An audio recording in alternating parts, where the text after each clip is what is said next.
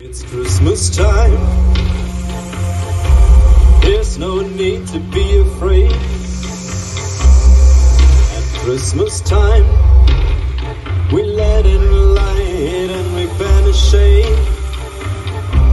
And in the world of plenty, we can spread a smile of joy. Put your arms around at Christmas time.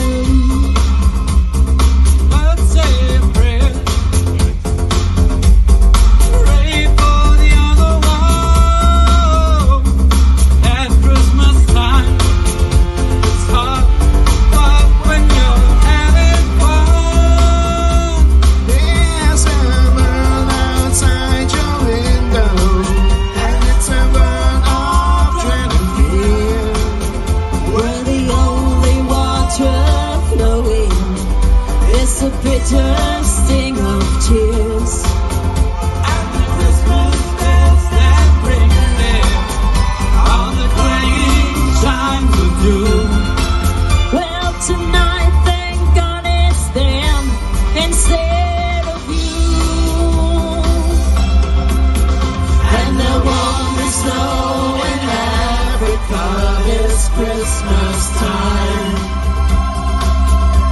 The greatest gift they'll get this year is life.